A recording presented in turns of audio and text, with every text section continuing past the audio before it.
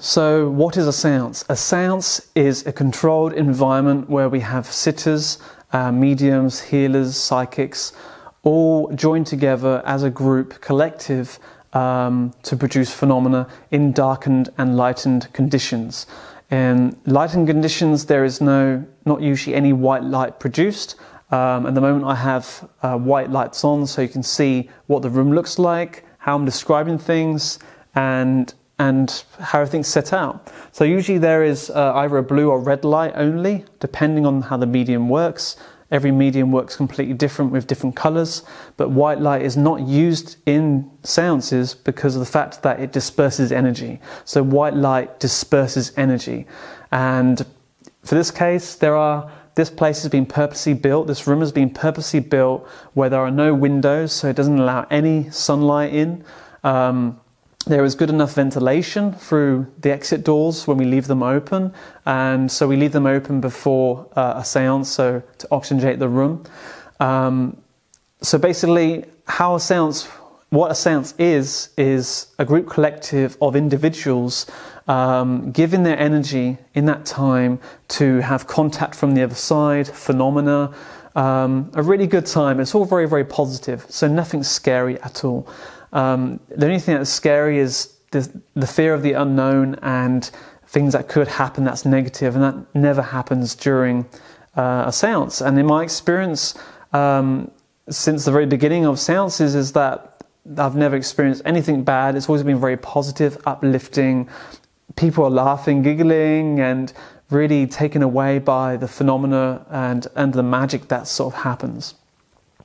So, a seance is is in a controlled environment where sitters, uh, the medium is is perfectly controlled in a way that is in harmony for all. So how we do this is that before a seance, everyone is checked, um, so there's nothing in their pockets. All there is is just themselves and their clothes. They come and sit down and they are the sitters, they are the batteries which give energy. Then we have uh, the music person who plays the music um, during that time, stopping and starting, uh, turning the, the volume up and down to uh, get the energy up for, for singing and, and, and harmony. Then we have the circle leader um, who basically is like the person in the room who controls uh, when the lights turn on and off and communicating with the medium medium's guide or the medium during that time of when to turn the lights on, when to lift the curtain up, and anything other any other things that are requested from the medium's form at that time.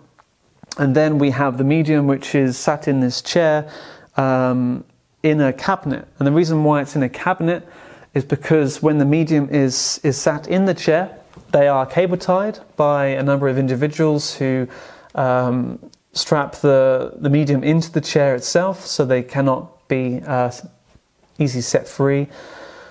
And uh, other sitters are allowed to check the whole room for any hidden props, any masks, or anything that should be shouldn't be in the room itself that could be used to uh, signify any sort of fraudulent activity. So everything remains in harmony and and and balanced. Another thing about the cabinet is that they are usually closed. So we have on this cabinet, one that we created is made out of three doors, painted black, and then we have a curtain over. Now, this may seem like a magic trick, and whatever's taken place is that there's some magic, but remember that the medium is cable tied or bound into the chair and cannot be set free. So any phenomena that takes place um, from the cabinet, we know that is it is genuine.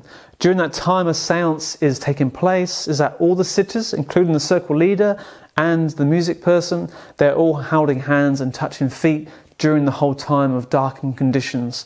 And even in lightened conditions, when there is uh, red light or blue light being produced, is that everyone in the whole room can see phenomena taking place from the cabinet itself.